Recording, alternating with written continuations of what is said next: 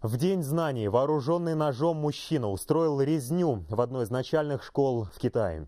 Инцидент произошел в городе Шиянь, провинции Хубэй. Неизвестный нанес ножевые ранения восьми ученикам и их учителю. В результате трое детей погибли, шестеро пострадавших, двое из которых в тяжелом состоянии доставлены в больницу. После расправы над учениками мужчина покончил с собой, выпрыгнув из окна. По некоторым данным, нападавший был отцом одной из учениц. Его дочь отказались принять в класс, поскольку она не выполнила летние задания.